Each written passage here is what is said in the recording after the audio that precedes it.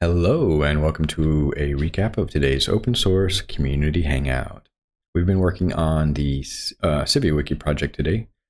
You can stop by github.com slash CiviWiki to find where uh, we are developing this open source software and get involved with our community on the discussions or on our online chat.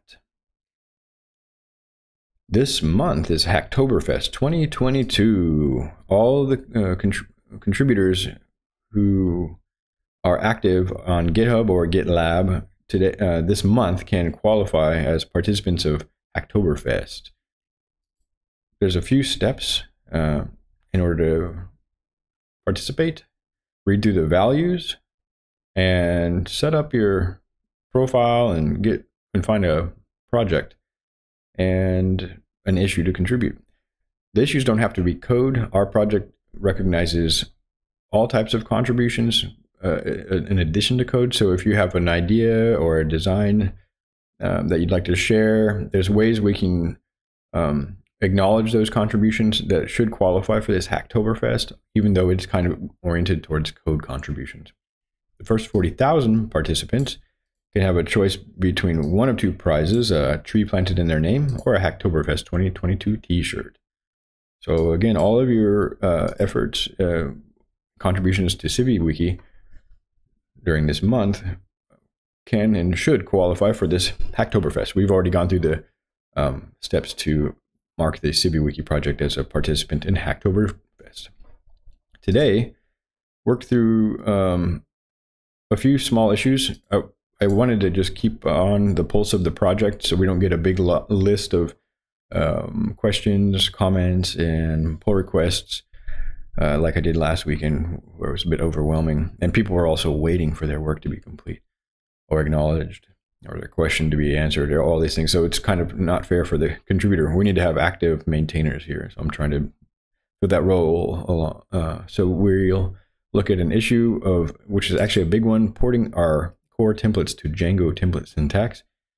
The problem we're trying to solve is a lot of our templates were written in Backbone JS, and we're moving away from having a sort of a server client architecture where you have a, a JavaScript client making API calls to a server.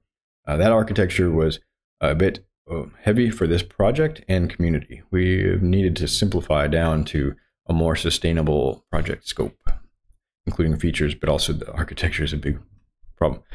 So the core of our app is um, essentially some uh, the default templates like error pages and things like that that aren't um, feature or app specific. So in other words, um, Django is made of consists of like a Django project, and the project has one or more apps, which are bundles of features and uh, tables and things, database tables and things like that.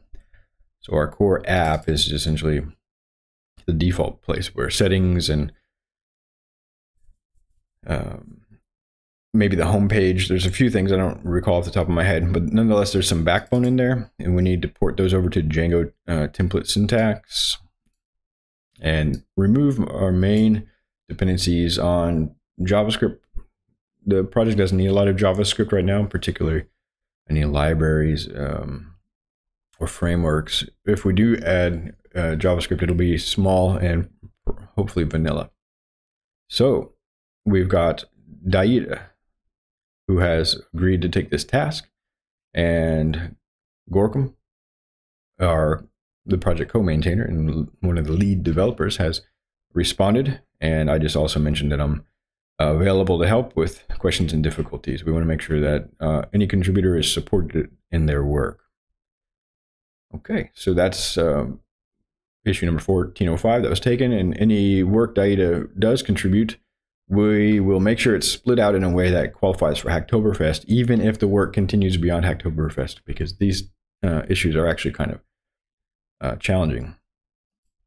Okay, create a view to show a list of all followed users. Uh, essentially, we have functionality that lets you say, hey, that user is interesting. I want to follow their activity and get updates whenever or at least uh, find be able to get back to that user. It's like a bookmarking feature more than a follow feature, I think.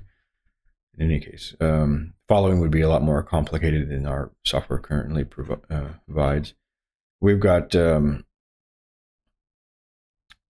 Karan Agarwal has uh, agreed to take this task. I had a couple of questions uh, about specifically where to put the followers uh, or following. It's a bit confusing, I understand. Followers would be people who are following me, and following is people I'm following. And this task involves people I'm following. They also had an uh, issue with their uh, session, and it was probably because we changed secret secret key recently, which um, Gorkem was help, able to help clarify, and then I was able to help um, Karan with their other question. So again, we're trying to make sure that people feel supported with, with their work to uh, in contributing to CiviWiki. This issue continues. We have another continuing issue. Our homepage or our landing page had some Backbone JS. It, really didn't need to. It's largely a static page with a couple of uh, call to action buttons and an embedded video. Um, but when we would try to render the um, homepage without Backbone, it looked like this. And it's just an example of just excessive JavaScript. Um, for a static page, it's not really uh, necessary. It adds bloat and complexity, and it also just slows down our development process.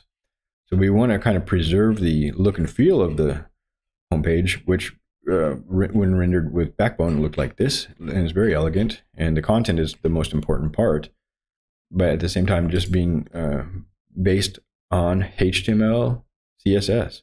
Maybe a sprinkle of JavaScript here and there, vanilla JavaScript ideally.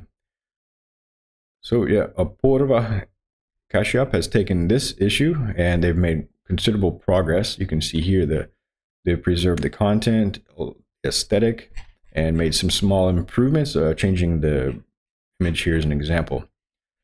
Uh, I've reviewed this. There was just some small suggestions that we would like to include. Uh, the previous template did have, I think, localization and, uh, or internationalization, meaning we can mark template texts that the user would see as translatable, and then have rounds where we have people who speak various languages translate those or localize those. So in order to do that, since we're using Django template syntax, we just need to add the correct template tags.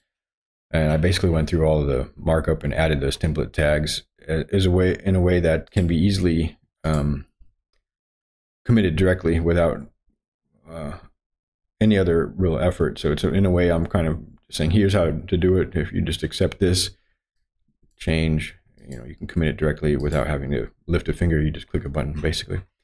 Similarly, let's go. I'm just going to scroll past my um, comments. They're all about the same thing, pretty much. Gorkem has noticed there was some code that had been uh, commented out, um, perhaps as part of this pull request or even just old crufty code that's been around.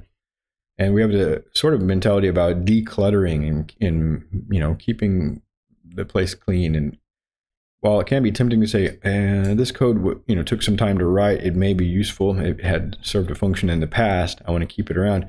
Uh, it actually makes it hard to review uh, code when there's big block comments and things like that. And overall, the this CSS gets shipped to the client, so it's also wasteful, wasting bandwidth in this case. Not very much, but nonetheless, uh, we just want to remove it. So Gorkem pointed out a couple, um, a few lines of commented out code, and also applied these um, diff comments, which says if you just apply this commit, it'll fix the issue that I'm pointing out.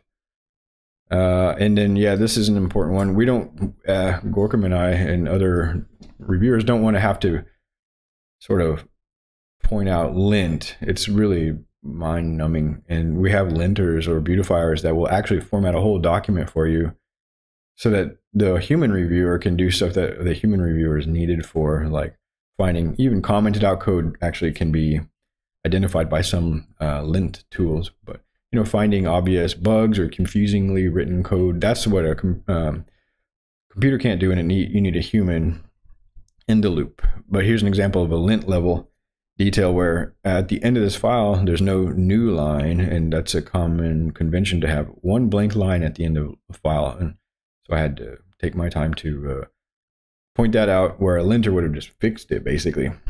Nonetheless, these are not big deals, and we can kindly include those in our pull request review.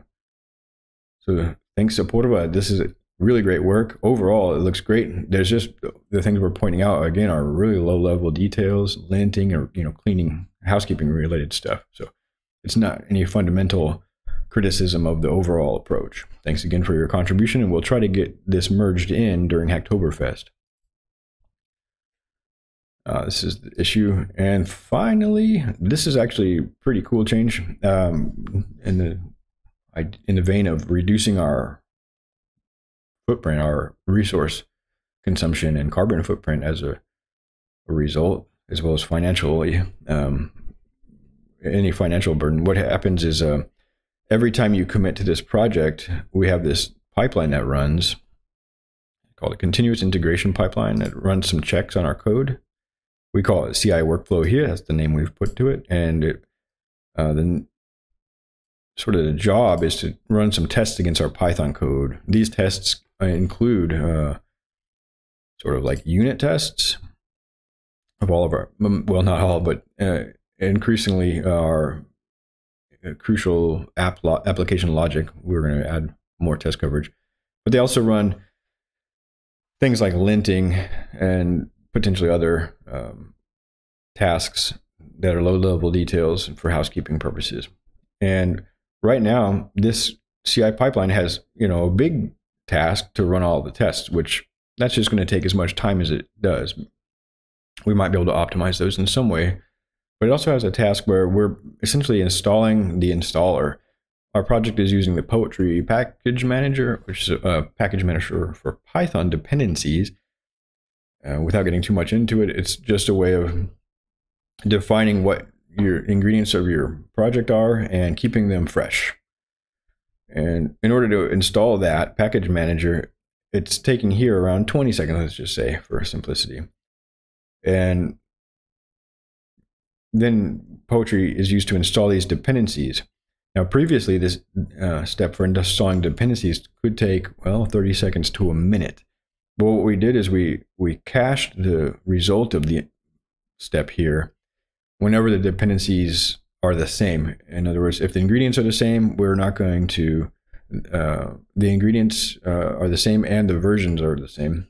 We're not going to reinstall those because they're still the shelf life is still fresh in our uh, analogy there. Uh, so we go from a minute down to zero seconds because of caching. Well, to four seconds. It takes a little bit of time to load the cache, which is kind of big. Uh, so we were thinking, let's also see if we can shave off a little bit of time from this poetry installation step by by caching it. And um, this, since it's the first time that's run, um, this step took zero seconds because it didn't find any any cache. But then it installs it. So let's take a look at this pull request because in this comment is an example by Dieter of the difference when poetry is cached. Um, the loading of poetry takes one second from a cache cache hit. So we can see here that it did find it and it's this many bytes, uh, 25 megabytes, which is actually pretty considerable. So that's 25 megabytes of files that we didn't need to pull from the uh, internet and configure, which is a resource saving, bandwidth resource savings, um, as well as uh, CPU savings of moving those files into the right locations on the disk. So we can just restore that using the unique identifier. And then we still need to spend a little bit of time with Poetry installation. We can see that Poetry says, oh, I'm already installed. So I don't need to call to the server and get those files and put them in the right place, right? It's already done over here. But it has a little bit of a configuration it needs to do. Um, so we still need to have this step to make sure that Poetry, you know, executable or binary file is uh, available for the uh, subsequent steps if there if it's needed. Which uh, since it's cached again, it's not needed. And so what we're doing is we're shaving uh, we're saving I think around we're shaving off time and CPU resources and saving the planet a little bit at a time. I know it's kind of silly, but these the, these steps take real energy and real resources to complete And oftentimes, when we're not paying for those resources, since we're getting this from GitHub, it's really easy to just say, "Yeah, we'll do everything." Uh, we don't really care about efficiency. But so this actually saves around 16 seconds and all the compute time and bandwidth that come along with that. So yeah, we just merged this. Uh, it was a great, uh, great work, very timely. Let me see. Oh, refresh. There it is. It's merged. Yeah. Um, let's just take a quick look at the code. I know I've been uh, going a little bit long on this, but um,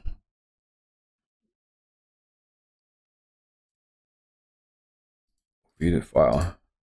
If you're working on a project on GitHub and you want to use GitHub Actions for your continuous integration workflow, here's ours, and you can borrow from this as much as you like.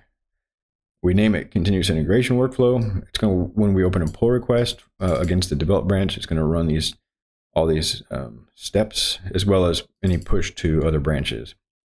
Uh, we call this generally the uh, Python tests job, and the job consists of several steps. We need to check out the repository, so we have the code ready. We're a Python project, so we need to set up uh, Python, which should have an upper. Uh, these are just prefab actions, and we specify our Python version. Then here's the new addition. We are going to see if there is a file in our local cache that meets, that matches this key.